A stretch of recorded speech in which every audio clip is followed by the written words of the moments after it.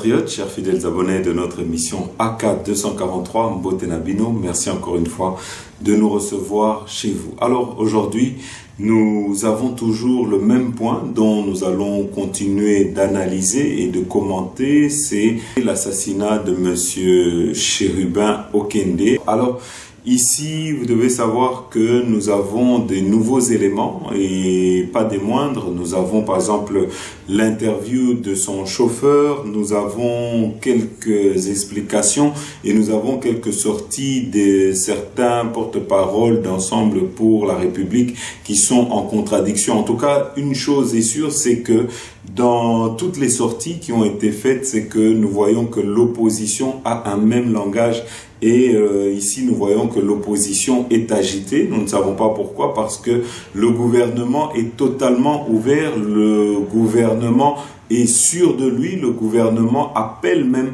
toutes les personnes qui veulent être témoins à participer à cette enquête parce qu'ils savent qu'ils n'ont rien à se reprocher. Mais ici, nous voyons déjà une opposition qui a déjà fait ce procès et qui connaît déjà son coupable. Et vous savez, on dit toujours, quand il y a un crime, quand on tue quelqu'un, il faut voir à qui profite le crime pour savoir qui est le tueur. Ici, nous sommes en train de voir que ça profite à M. Mukwege, ça profite à M. Katumbi, ça profite à la Senko et ça profite à certains mouvements citoyens qui, eux tous, avant même la fin de l'enquête, sont tous en train de pointer du doigt le président de la République. Mais nous avons ici, en même temps, nous avons enquêté, nous nous sommes rendus à la Cour constitutionnelle, nous avons analysé certains audios qui ont commencé à circuler dans les réseaux sociaux, dont notamment sur WhatsApp, et nous avons, et nous pouvons en tout cas vous le dire ici, ces audios sont faux et les déclarations qui sont contenues dans ces audios sont fausses. Alors, avant de commencer peut-être notre émission, comme nous le faisons chaque fois, pour la qui nous découvrait ou qui appréciait nos émissions, mais qui ne vous êtes pas encore enregistré ou qui ne vous êtes pas encore abonné, c'est l'occasion pour nous ici de vous mettre la vidéo qui explique comment faire pour nous soutenir et vous abonner. Bolanda. Chers compatriotes, vous n'êtes peut-être pas encore membre de la grande famille de tous les abonnés de RDC Source Info. Pas de panique il n'est pas trop tard, je vous invite à appuyer sur le bouton abonner. Appuyez également sur le bouton notification. Ça vous permettra, lorsque une de nos émissions sera mise en ligne, vous serez directement informé par YouTube. N'oubliez pas d'appuyer sur le bouton j'aime, ça nous donnera une bonne cotation auprès de YouTube et ça rendra nos émissions plus visibles auprès de nos autres compatriotes. Donc, je répète, nous avons trois actions à faire. Le premier, abonnez-vous. Deuxièmement, appuyez sur le bouton notification. Et troisièmement, appuyez sur le bouton j'aime.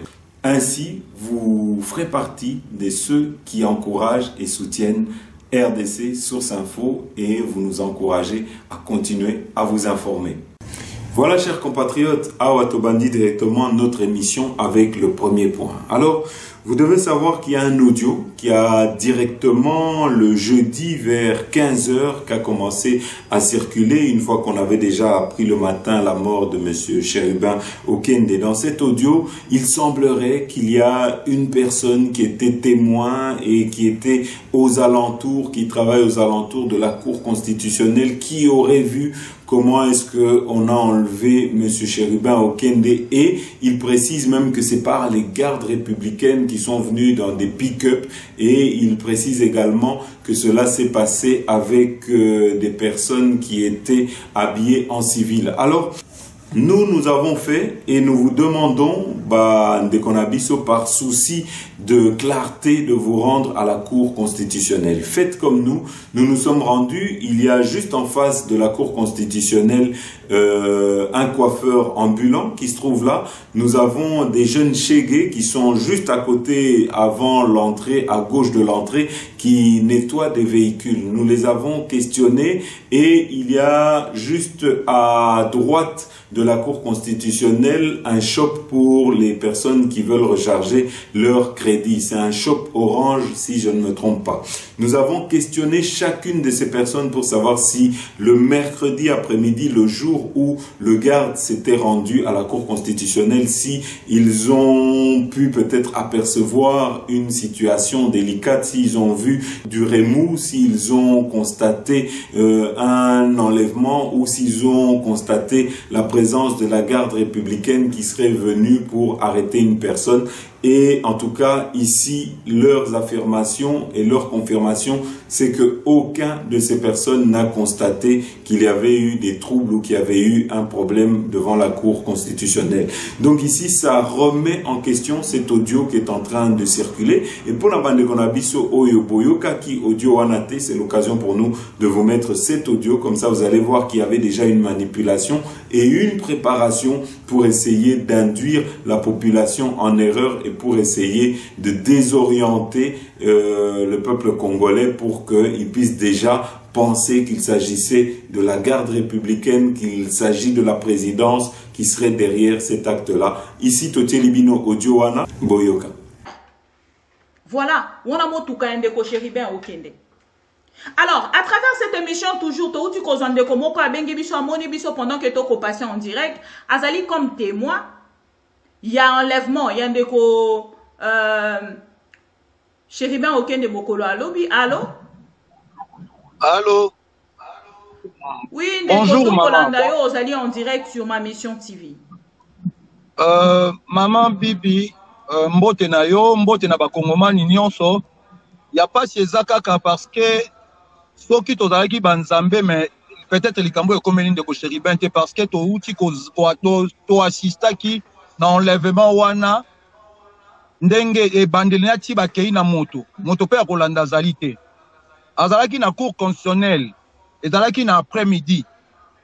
Na après-midi aye na motuka na ye. Atelemisi yango na mopanzi akoti na parking ya cour constitutionnelle bauti kobongisa sika. Aye atelemisi na mopanzi wana bashege kutu nde bato basokolaka bano basokolaka mituka pour ne pas dire bashege baye kolanda ye kosenga mwa eloko. Ndenge ezalaka kaka. Azalaki na rapproche na ye. Rapproche akiti apesi bana wana eloko. Biso totemi toza kotala. Ngai nautaki na nazalaki na ministère ya budget na secrétariat général ya budget. Napusani wana na ye napesi kulutu na ngai sheriben mbote tosololi na ye tosisi kosolola mwa moke toseki mpe mwa moke pendant mwa quelques minutes na longwe wana na ye kovanda na, na villa royal. Na ngonga moke nayoki hey, hey, hey, bato nazalaki na, na villa royal nabimi toye wana tozomona nde bato baka kolongola ye. Baye wana boye. Y avait six personnes en tenue civile et puis batiki pick-up na bango juste kuna kota maison de la france parce que tolandaki bazalaki na pick-up moko ya pembe. Pick-up wana ya pembe ezalaki na ba, ba, ba, ba républicain bamura oyo tobengaka bamura misato na chauffeur moko bamura bazalaki na kati ya, ya pick-up wana ya pembe ya pick-up ya pembe wana ya land cruiser. Baye bamenace bazwi basimbi c'est lui-même qui a conduit sa voiture bapesi ye volant motuka na ye. Menace tellement leka ezosalama makambo wana ezosalama ezali na, na liboso ya cour constitutionnelle na liboso ya cour bazwi motoka bakei nango. Lea bakei aussitôt aussitôt nani garde na ye balandaki ata te. Bato balandi me biso tokoyeba ndenge nini ke pikepe ya pembe ezalaki wana parce que tolandi. Ngai na demare motuka na ngai nalandi. Nalandi tokomi ti wana nde tokomona bazwi motuka na ye moko moto azopusa elaka bakomi na liboso ya maison de la france. Bakitisi ye babwaki ye na nsima ale eh, eh, mura moko akiti aye azwi volant sheriben nde bakei. Nde bakei eh, pasi yango wana tondimaki te kelelo tokomona boye Voilà, chers compatriotes. Alors, d'autres éléments sont arrivés. Nous avons pu obtenir d'autres éléments, dont notamment l'interview du garde du corps qui est plein de contradictions, si on peut dire ça comme ça. Mais peut-être avant ça, nous allons vous remettre l'élément qu'on vous avait mis dans l'émission passée, dans lequel il y avait le président de la Cour constitutionnelle qui lui-même était en train d'affirmer que si le garde du corps était venu avec la lettre, c'est parce que M. Chérubin Okende avait téléphoné pour dire qu'il ne pouvait pas venir par lui-même. Et donc, il est un petit peu bizarre aujourd'hui de constater que le garde du corps dise que M. Chérubin, qui avait dit qu'il ne pouvait pas venir parce qu'il avait un contretemps, était quand même venu et que soi-disant, il serait même euh, au volant du véhicule quand il était venu et il apporte d'autres informations comme quoi il avait laissé son arme à l'intérieur du véhicule. Mais peut-être avant ça, nous vous mettrons d'abord, nous allons vous mettre d'abord l'interview du président de la Cour constitutionnelle qui a apporté des éléments très capitaux, Bolanda. En possession de cette correspondance, il peut venir, il peut envoyer quelqu'un. L'essentiel est que la lettre, que lui-même qui est le destinataire, parce que ça a un caractère confidentiel et individuel, qu'il soit d'abord informé il euh, dira, aujourd'hui même, c'est le mardi, je passerai, si je ne passe pas, j'enverrai quelqu'un. Ça n'a pas été le cas, mais c'est le mercredi qu'il va appeler pour dire, je suis empêché, j'envoie mon collaborateur. Il passera, comme le procureur général venait de vous dire, à 11 heures. Et il a accusé réception en mettant son nom et son numéro de téléphone normal. Il repart à 16 heures, le même qui a pris l'invitation. Ce n'était pas pour des réunions, il n'y a aucune erreur, c'est juste pour qu'il vienne donner. On lui informe les éléments qui manquent et il les supplée. Il pouvait les avoir ou les amener après. À 16 heures, le même collaborateur ramène la réponse du ministre honoraire pour dire Demain, jeudi, je n'aurai pas de temps. Je passerai accepter que je passe vendredi. Il dépose la lettre et il repart. Le procureur général vous dit, était-il, c'est pourquoi il demande, s'il y a des gens qui l'ont vu, qui ont attesté, parce que nous, nous avons au moins sa lettre pour dire qu'il ne pouvait pas venir, nous avons sa lettre, c'est ça qui est officiel. Et puis de toutes les façons, on tournerait autour de l'invitation. En fait, s'il était venu et qu'il était entré, mais c'est lui qui recevrait la lettre. S'il était resté à l'extérieur, ni vous, ni moi, personne ne peut l'affirmer. Mais si nous nous en tenons à ce qui est officiel, lui-même a dit, a écrit qu'il ne pouvait pas venir le jeudi, mais qu'il viendra le vendredi. J'espère que sur ce plan-là, soyez des professionnels. La constitution de notre pays est à la disposition de tout le monde. Le règlement intérieur, la loi organique, c'est à la disposition de tout le monde. Ne prenez pas les choses qui sont ordinaires et euh, normales. On veut rattacher cela. On va piéger un ministre, on le piège à la cour. On est dans quel pays là voilà, chers compatriotes. Alors ici, nous allons vous mettre les propos de garde du corps. En tout cas, ces propos sont précieux parce qu'il y a beaucoup de contradictions là-dedans. Il dit d'abord qu'il a laissé M. Chérubin dans la voiture devant la Cour constitutionnelle aux alentours de 16 heures et euh, il a fait en tout et pour tout 10 minutes. Donc ça veut dire que si on compte bien, il serait arrivé vers 15h50 euh, devant la Cour constitutionnelle parce qu'il a fait que 10 minutes et en, à 16h02 on avait déjà signé le reçu de l'accusé de réception de la lettre de Monsieur Chérubin Okende. Alors ici il dit que quand il est descendu il a constaté qu'il n'y avait personne, que la voiture était déjà partie, que son patron était parti. Mais ce qui est étrange, et vous devez faire attention à ça, c'est qu'il dit que selon lui, quand il est parti, le garde, donc il prévoit déjà son patron a été enlevé un peu plus loin. Donc c'est une préméditation. Cela vous montre que on dirait que c'est quelque chose. Baebi déjà Oyobasi Basalaki, ils savent déjà quel était euh, le scénario qu'ils ont fait et à partir de là, ils nous donnent déjà des éléments pour que nous puissions consommer et pour que nous puissions déjà accepter le scénario qu'ils sont en train de nous offrir ou qu'ils essayent de nous faire avaler. Alors, comment lui qui descend, mais bizarrement, quand il voit que son patron s'en est allé, son premier réflexe pendant que son patron est parti, c'est de dire un peu plus loin, on l'a arrêté. Et de signaler directement tous les communicateurs d'ensemble qui, à 16 heures, à une autre heure, à 16 heures bien précises, Bandeko avait déjà lancé l'alerte pour dire que on a enlevé M. Chérubin au Kende. Alors que devant la Cour constitutionnelle, personne n'a constaté qu'il y avait eu enlèvement de M. Chérubin au Kende. Cela vous prouve et vous montre à suffisance qu'il y avait déjà euh, une intention de nuire à la garde républicaine, de nuire à la présidence et de désorienter euh, la réalité sur ce qui s'est peut-être déjà passé. Alors ici, euh, nous allons vous mettre l'interview du garde du corps et cela se passe avec euh, un des communicateurs d'ensemble. C'est juste pour vous montrer qu'il y avait déjà une certaine complicité et que à 16 heures, à l'heure où il était à la Cour constitutionnelle et qu'il serait parti peut-être parce qu'il aurait eu un appel ou peut-être qu'il n'était jamais arrivé devant la Cour constitutionnelle. C'est peut-être que le garde du corps est venu avec quelqu'un d'autre pour masquer devant la Cour constitutionnelle et on essaie de nous faire croire que M. Chérubin au Kende était devant la Cour constitutionnelle. En tout cas, une chose est sûre, c'est que personne ne peut attester de la présence de M. Chérubin à la Cour constitutionnelle le jour où le garde du corps est venu remettre la lettre de l'empêchement de M. Okende. Alors ici, Totie Libino d'abord interview Anna Bolanda. Invitation nanga, osala nini? Ozonga nazwi mpe invitation.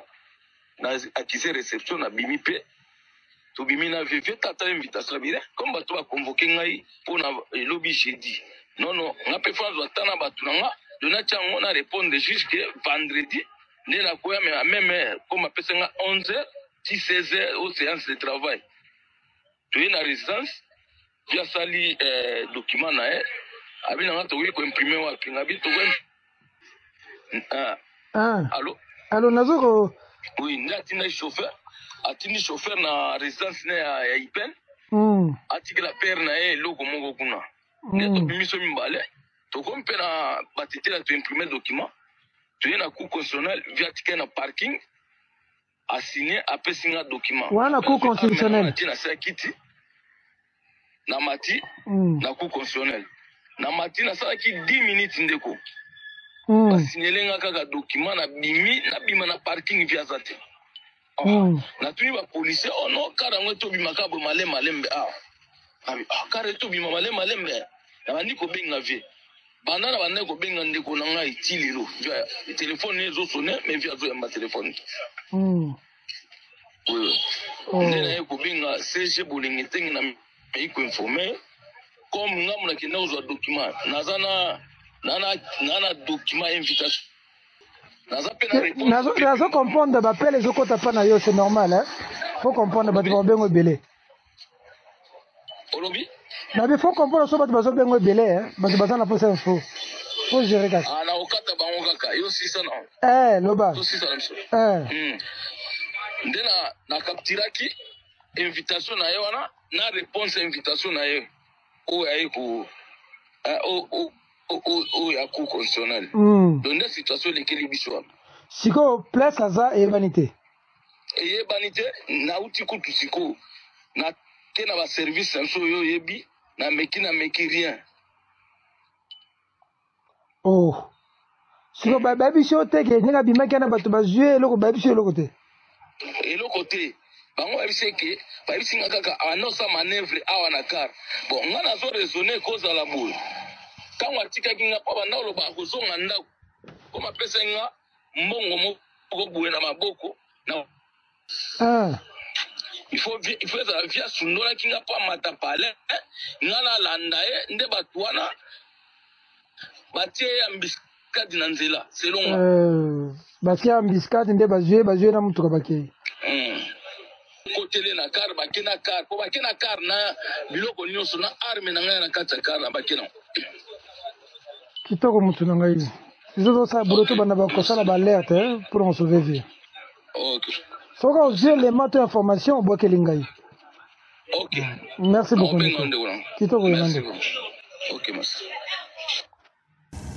Alors ce qu'on ne comprend pas ici, c'est que si vous regardez bien, il y a une certaine agitation de la part de l'opposition, à savoir M. Denis Mukwege qui appelle déjà à ce qu'on puisse donner une réponse forte au gouvernement en place. Il y a M.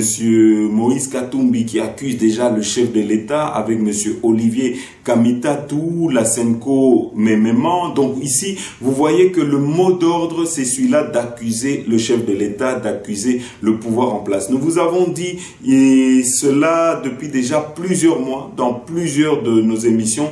Vous pouvez les regarder. Nous vous avons dit qu'il y aurait à la veille des élections des stratagèmes qu'ils allaient mettre en place pour toujours accuser le chef de l'État. Ici, c'est du pain béni pour eux la mort de M. Chérubin Okende. Mais une chose est sûre, c'est que si vous regardez, on peut le dire, M. Chérubin Okende ne présentait aucune menace pour le pouvoir en place. M. Chérubin Okende, il n'y avait vraiment pas des raisons pour que le chef de l'État ou le gouvernement ou un membre, en tout cas du gouvernement, ne puisse s'attaquer à M. Chérubin Okende. Ce que nous pensons ici, et nous le disons haut et fort, c'est que M. Chérubin Okende a été sacrifié par son propre camp. Son propre camp veut arriver au pouvoir par tous les moyens et ils utilisent des méthodes qu'on peut dire des méthodes mafieuses. Et ceux qui sont en train d'utiliser, c'est ce qu'ils ont utilisé lors d'anciennes marches dans lesquelles ils avaient eux-mêmes payé des koulouna et ces koulouna-là s'étaient attaqués des journalistes, s'étaient attaqués à quelques membres d'ensemble. Et donc,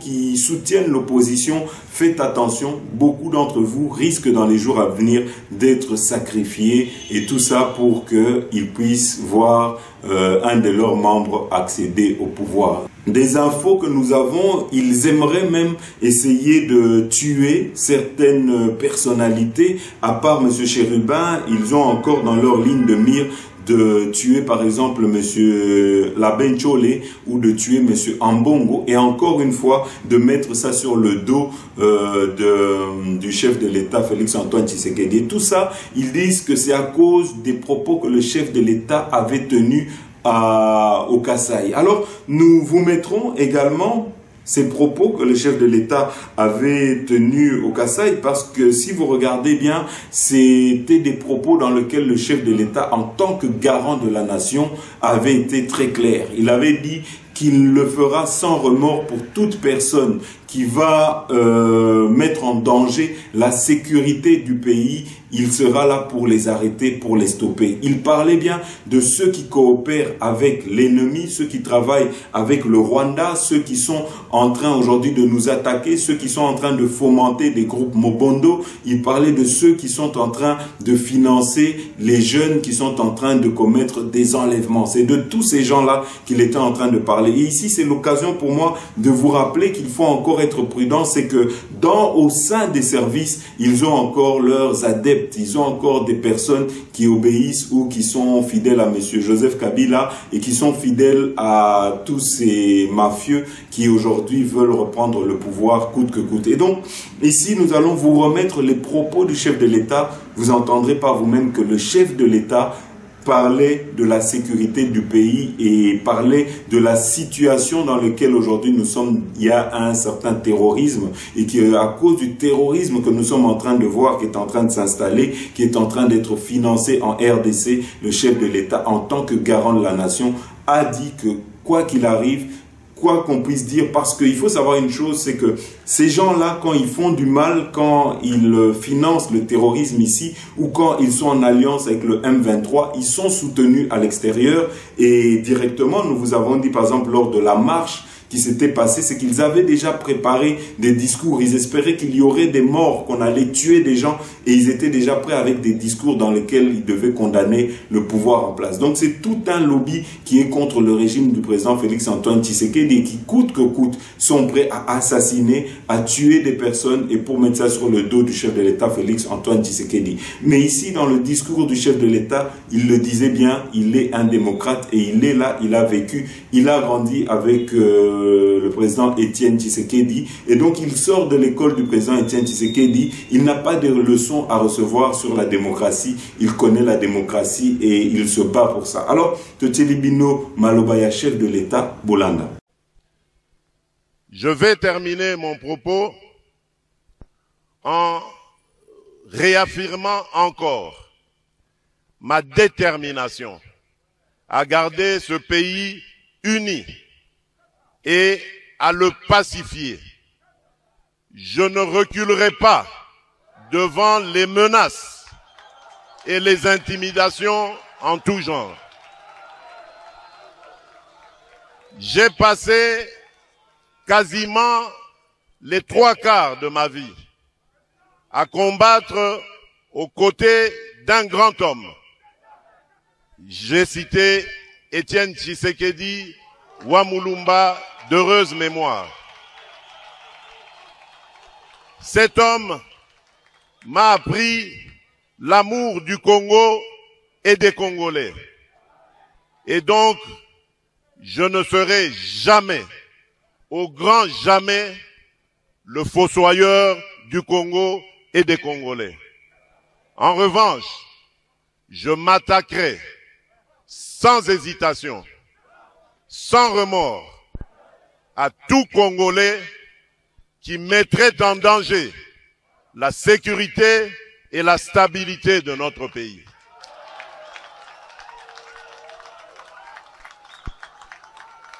Peu importe ce qu'on en dira, violation des droits de l'homme, privation de liberté, je n'en démordrai pas. Parce que démocrate je suis, démocrate je resterai. Je n'ai aucune leçon à recevoir de qui que ce soit dans ce domaine. J'ai la charge de protéger et de garantir le bien-être de tous les Congolais, de quelque bord politique qu'ils soient, religieux ou autres idéologiques, et donc je ne lésinerai sur aucun moyen pour remplir ma mission du mieux que ce soit. Alors autre chose, Bandeko, vous devez savoir qu'il y a eu une réaction de Monsieur Francis Calombo et il y a eu également euh, dans l'interview, si vous avez suivi du garde du corps, c'est que en fait euh, ici, il faut savoir une chose, le véhicule Lexus de Monsieur Chérubin Okende comporte un système GPS. Et le garde du corps, on l'a retrouvé à côté du véhicule qui était avec, euh, qui contenait déjà le corps de Monsieur Chérubin Okende. Il a dit qu'il se trouvait sur les lieux parce que il avait pu retracer où se trouvait le véhicule grâce au système GPS. Mais quelque chose est étonnant là-dedans, c'est que pour un véhicule qui avait disparu à 16 heures, à partir de 16 heures, il pouvait déjà euh, chercher à savoir où se trouvait ce véhicule. Il pouvait déjà activer le même système qu'il avait activé à 7 heures du matin pour retrouver le véhicule. Mais pendant tout ce temps, presque 24 heures, ce monsieur n'a jamais usé de ce système GPS. Mais c'est seulement à 7 heures du matin, quand il y avait du trafic, on le retrouve sur le lieu du crime. Donc ici, ça tend à vous dire que on cherche à brouiller les pistes et la très vigilant parce que ici, l'opposition sont en train de se dévoiler. Vous avez par exemple l'interview de monsieur Francis Calombo qui est totalement incohérent. Il dit que euh, Monsieur Chérubin Okende était arrivé à la Cour constitutionnelle à 15h30. Sur base de quoi, lui, il sait que le véhicule de Monsieur Chérubin était arrivé déjà à 15h30. Il explique également que le garde du corps avait traîné quand il était parti déposer la lettre, mais quand vous entendez le discours du garde du corps, il le dit très clairement qu'il n'a fait que 10 minutes et qu'il n'avait pas traîné. Mais ici, nous avons M. Francis Calombo qui contredit ses propos et qui dit qu'il avait traîné. Et donc ici, tout ça pour vous montrer que les propos de M. Francis Calombo ne sont pas crédibles, que ici c'est plutôt des propos qui visent à manipuler l'opinion, qui visent également à aller dans le sens, dans le schéma et dans le scénario qu'ils avaient déjà prévu pour euh, vendre à l'opinion, pour vendre à la population. Et donc il faut être très prudent de ce côté-là. ngai nazolanda conversation bango baza na garde alobi na ye ke voilà. Soki okoya luka okóma avant 16 heures. Loba na ba 15 heures 30 parce que après 16 heures ye juge akendaka na ye akobima. Donc bayebisi ye ape mpe bacréno heure nini akoki kokóma mpo sino akokuta ye, ye, ye juge te. Asali nyonso akomi na ba 15 heures 30 wana juge avocat atindi garde amataki na garde aumelaki pamba te il faut baluka moto ya kosala accusé de réception. Epuis atikala na kopi ke adepose colis. Accusé de réception.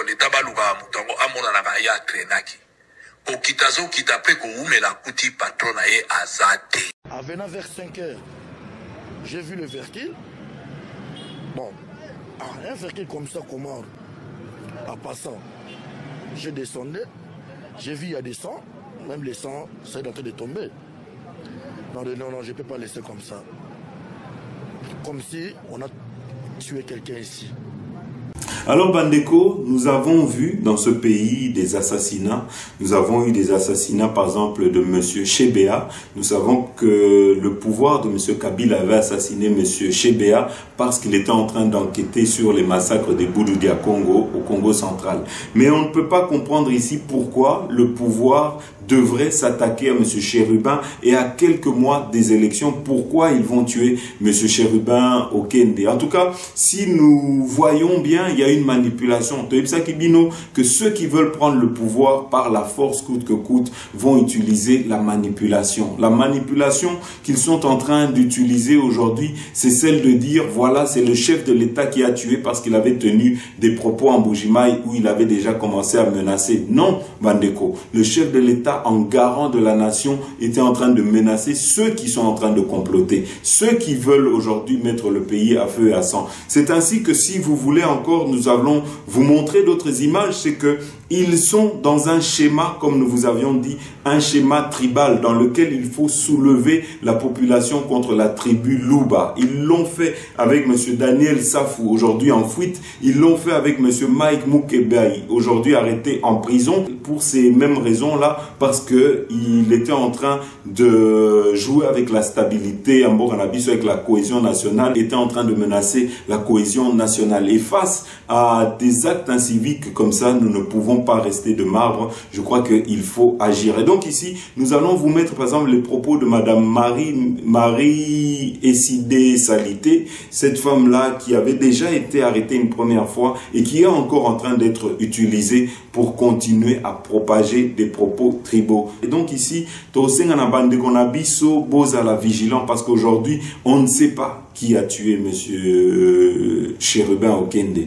Aujourd'hui, nous devons attendre une enquête. Aujourd'hui, le pouvoir en place n'avait pas des raisons et n'est surtout pas, c'est pas un pouvoir irréfléchi qui pouvait aujourd'hui euh, juste comme ça tuer une personne qui ne représentait pas un danger. Et de, toute façon, nous pouvons le dire sans euh, sourciller que le chef de l'État n'a jamais été dans l'optique de tuer des gens. Il peut faire arrêter des personnes, mais ça s'arrête là. Et donc, cette opposition nous devons être prudents parce que en utilisant des propos qui sortent de leur contexte, ils peuvent même aller à sacrifier leurs proches pour qu'on puisse accuser le chef de l'État, pour qu'on puisse accuser le pouvoir en place. Et il faut être prudent pour n'abatu Yobazo soutenir Bango, lobby, vous pourrez être aussi victime. Alors autre chose, Bandeko, c'est que vous devez savoir des propos que le chef de l'État avait tenus. Euh, C'était contre ceux qui menacent la stabilité du pays, contre ceux qui ont des actes de traîtrise contre le pays, ceux qui trahissent le pays, ceux qui travaillent avec nos ennemis, avec le M23, avec le Rwanda. Et si vous regardez bien, c'est tous ceux qui s'offusquent aujourd'hui des propos du chef de l'État ont quelque chose, ont un lien à voir avec le Rwanda, sont des gens qui n'ont jamais condamné le Rwanda, sont des gens qui soutiennent le Rwanda, sont des gens qui sont en intelligence avec le Rwanda. Alors Bandeko, combien de temps nous devons faire pour que vous puissiez ouvrir les yeux, pour que vous puissiez comprendre qu'il y a un complot aujourd'hui qui est en train de se tramer pour que ceux qui hier travaillaient avec le M23, ceux qui ont trahi notre pays, ceux qui ont infiltré notre armée avec des éléments étrangers, c'est les mêmes qui veulent revenir au pouvoir. Hier, c'est ceux-là qui ont piller ce pays. C'est ces gens-là qui se sont enrichis et qui ont déposé ça dans des paradis fiscaux. Et c'est ces mêmes personnes-là qui, ont bu, sont aujourd'hui en train de chercher à manipuler l'opinion et faire croire que c'est le chef de l'État qui est dans cette optique ou qui est dans cette politique-là. Pendant que nous connaissons tous ces personnes-là, nous vous avons dit et nous continuons à le dire, nous mettons au défi toute personne ici à Kinshasa de nous montrer une villa qui appartiendrait au chef de l'État Félix Antoine Tshisekedi. Mais eux, ils ont des hôtels, eux, ils ont des supermarchés, eux, ils ont des eaux, eux, ils ont toute l'économie du pays entre leurs mains parce qu'ils ont pillé ce pays.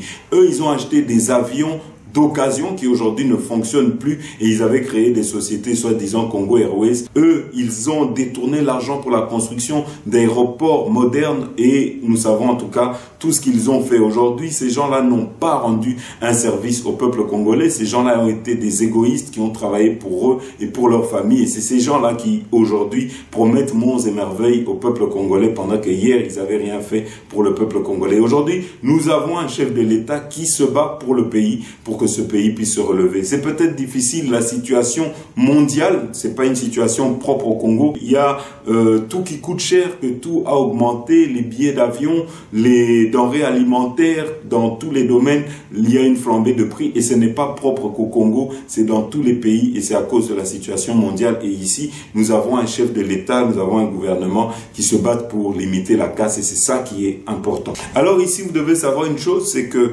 pour terminer ce propos concernant l'assassinat de M. Chérubin au Kende, c'est que si le chef de l'État avait quelque chose à se reprocher, nous n'allons pas ouvrir l'enquête à d'autres personnes, à d'autres pays ou à des enquêteurs étrangers. C'est justement parce que le régime n'a rien à se reprocher, c'est justement parce que le gouvernement n'a rien à se reprocher qu'aujourd'hui ils font appel à la communauté internationale pour cette enquête. Alors ici, nous allons vous mettre les propos de M. Patrick Mouyaya, porte du gouvernement Bolande. Les premiers éléments d'enquête semblent confirmer la thèse d'un crime crapuleux et un premier suspect a été interpellé. Le président de la République a de la manière la plus ferme désapprouvé et condamné ces crimes odieux qui a ôté la vie à un serviteur de la République dans des conditions tragiques que rien et alors rien ne saurait justifier.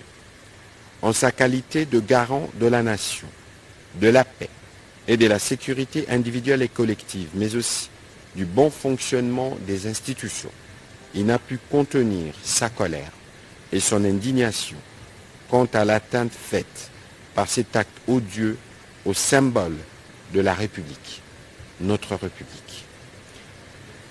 Le président de la République a souligné que cette barbarie autant que toutes les autres formes de forfaiture sordides auxquelles s'adonnent les ennemis de la République, est une attaque contre les symboles du pays, en l'occurrence la paix et la sécurité, auxquels ont droit chaque citoyen, où qu'il se trouve, sans discrimination fondée sur sa race, sa tribu, ses convictions politiques ou religieuses. Il a exprimé ses condoléances les plus attristées à la famille de l'illustre disparu. Réitérant son ferme attachement à l'état de droit, le président de la République fond tous ses espoirs sur notre justice pour que les ou les auteurs de ces crimes odieux puissent être déférés auprès des instances compétentes et subir la rigueur de la loi. Ces crimes ne demeurera point impunis. Encore une fois, j'appelle au nom du peuple congolais la justice, dans son impartialité et dans son indépendance, à faire toute la lumière sur cette ignoble affaire, a-t-il insisté. Dans cet ordre, la ministre d'État, ministre de la Justice et garde de Sceaux, a été chargée de prendre contact avec les autorités belges, dont le Premier ministre a dit au président de la République la disponibilité de son pays à s'associer à l'enquête diligentée. Les experts sud-africains pourront aussi être associés suivant les rapports qui a été fait par le vice-premier ministre, ministre de l'Intérieur, qui était jusqu'hier pour un séjour de travail. Le deuxième point de la alors voilà, chers compatriotes, il faut savoir une autre chose dans ce que nous avons analysé et que nous avons compris, c'est que d'abord, un, s'il y avait un élément où il y avait quelque chose qui s'était passé devant la Cour constitutionnelle, vous savez qu'à l'heure actuelle, tout le monde a un smartphone. S'il y avait quelque chose, ça aurait été filmé parce que vous savez que tout ce qui se passe dans ce pays, dès qu'il y a quelque chose d'anormal, tout le monde sort son téléphone pour filmer. Mais ici, concernant la Cour constitutionnelle, il n'y a eu aucune image, il n'y a rien qui peut attester de tout ce qui est aujourd'hui euh, affirmé que ce soit par le garde du corps, en tout cas, il y a un flou là-dedans. Et nous demandons à ceux qui sont agités, ceux qui y ont déjà trouvé leur coupable idéal, de rester calmes et d'attendre la fin de l'enquête et de laisser peut-être les enquêteurs faire leur travail. Alors ici, il faut savoir autre chose, c'est que quand aujourd'hui nous avons cette opposition qui pointe du doigt la Cour constitutionnelle, quand nous avons euh, l'opposition qui dit qu'il y a eu l'enlèvement devant la Cour constitutionnelle, même s'il n'y a rien qui le prouve, et même si aujourd'hui toutes ces affirmations ont été démenties, c'est que vous devez savoir une chose, c'est que euh, pour aller vers le processus électoral, il y a le camp de M. Kabila et le camp de M. Moïse Katumbi qui sont en train de rejeter la Cour constitutionnelle. Et donc pour eux, c'est du pain béni de jeter du discrédit sur cette Cour constitutionnelle. C'est pour eux une occasion, avec la mort de M. Chérubin Okende, de pouvoir dire que cela s'est passé là et de continuer à affirmer qu'il y a eu un enlèvement devant la Cour constitutionnelle, même si cela est faux. L'objectif ici, c'est de discréditer la Cour constitutionnelle. Et donc cela est en train de nous pousser à voir et à dire et à conclure que l'assassinat de M. Chérubin Okende s'est passé ailleurs avec peut-être la complicité de ces gardes du corps, mais ici, L'objectif est de salir la Cour constitutionnelle parce que ces gens-là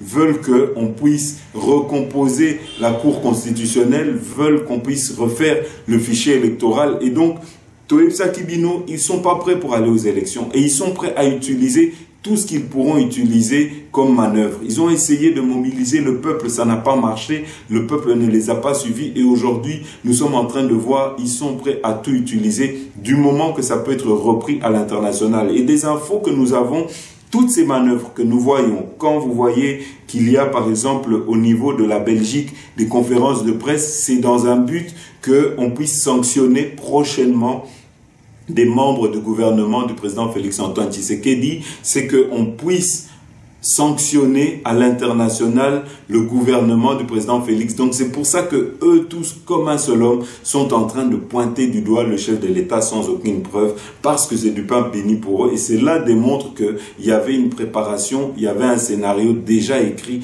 déjà prêt, dans lequel il fallait maintenant distribuer à leurs communicateurs pour vendre ça au peuple congolais. Voilà, chers compatriotes, en tout cas, tous les questionnements que nous sommes en train de nous poser. Mais une chose est sûre ici, c'est que je peux le dire avec certitude, ni le chef de l'État, ni le gouvernement n'est impliqué dans ce crime odieux.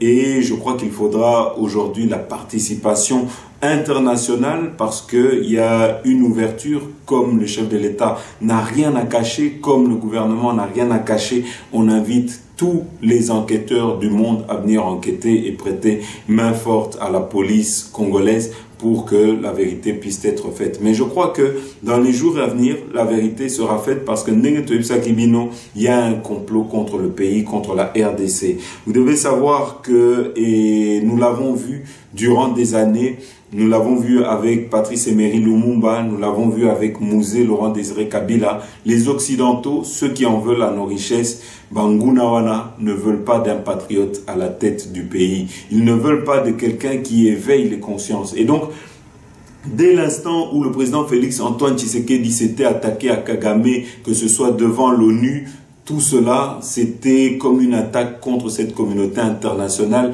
qui défend des intérêts euh, contre le peuple congolais sur le sol congolais. Ces gens-là sont en train de soutenir le désordre, sont en train d'encourager le désordre dans notre pays. Et donc nous ne devons plus aujourd'hui fermer les yeux ou faire semblant pour des intérêts personnels. Je crois qu'aujourd'hui, comme un seul homme, nous devons nous battre pour que ces gens-là ne puissent plus interférer dans la politique de notre pays. Ces gens-là n'en veulent pas au bien du peuple congolais. Ces gens-là, c'est eux qui ont mis le peuple congolais à genoux. Et aujourd'hui, nous, Congolais, nous devons avoir l'esprit patriotique et nous devons tout faire pour refuser toutes les manigances qui sont en train de mettre en place avec euh, le soutien de nos ennemis, avec euh, le soutien de Kagame pour combattre le chef de l'État Félix Antoine Tshisekedi. Si aujourd'hui le chef est fragilisé, sachez que ça sera pour l'intérêt du Rwanda, ça sera pour l'intérêt de ceux qui sont en train de financer la guerre à l'Est Et oui, le chef a raison de dire qu'il doit tout mettre en place pour barrer la route à toutes ces personnes qui nous veulent du mal, qui en veulent à nos richesses. Voilà, chers compatriotes, c'est la fin de notre émission. Merci na Binono Soto et Bolanda Kibiso. À très bientôt.